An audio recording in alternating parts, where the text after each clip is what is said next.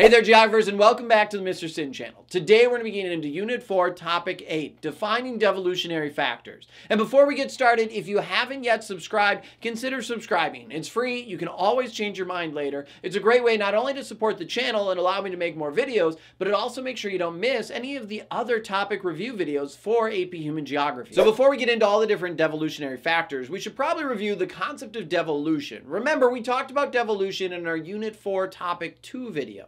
Devolution is the transfer of power from a central government to more regional governments. Sometimes it's just that, a shift of power. Other times, though, it can actually lead to a state to break up and turn into multiple states. There are a variety of different devolutionary factors that could occur in a state that could lead to devolution. Sometimes it's the physical geography of a state that actually promotes devolution.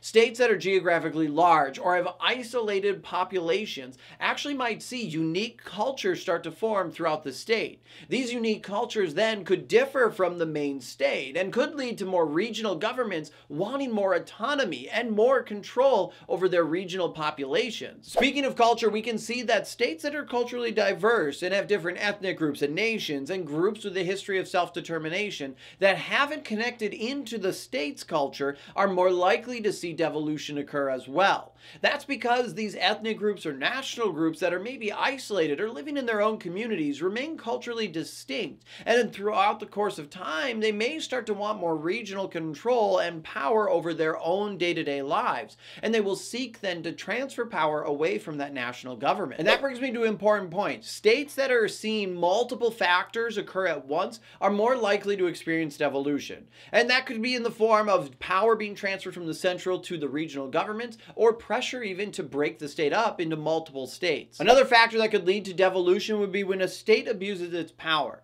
When we see governments or a dominant cultural group abuse the citizens or take advantage of minority groups and discriminate against them, we often see calls for change in leadership, and that could lead to change in the political system itself. In some cases, such atrocities such as ethnic cleansing may occur, where governments seek to kill ethnic groups within society. Regardless of what happens, though, when governments abuse their power and corruption is prevalent, we see states start to break down as citizens citizens become more frustrated with the status quo and are more likely to have protests that might be peaceful or violent against the system, and they will demand change. The next devolutionary force is terrorism. Terrorism is the use of violence or intimidation against civilians to try and promote terror for political reasons. States that have a lot of violence inside their borders or a lot of terrorism occurring inside their borders are more likely to see citizens become upset and demand change from the government and the state. If the state and the government can't reduce reduce the amount of violence and also the amount of terrorism,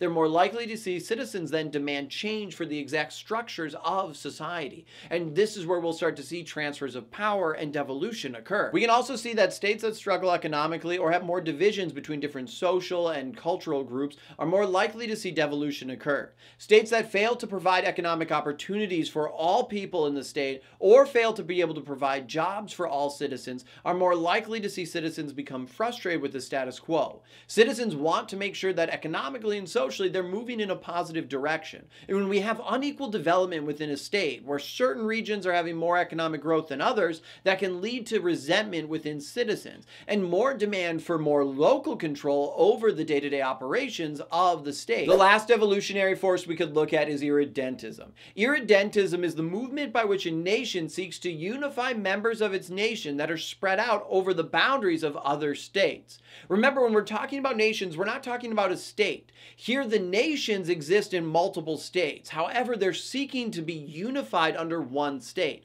And that's where devolution could occur. All right, geographers, that's all the time we have for today. Don't forget to practice what we've learned and check your answers in the comments below. Also, if you need more help with your AP Human Geography class, consider checking out my Ultimate Review Packet. It's a great resource that can help you do well on the national exam and also help you get an A in your class. And don't forget to subscribe to the channel. That way you'll get notified when I post new topic review videos. All right, thanks so much for watching, geographers. I'm Mr. Sinn, and until next time, I'll see you online.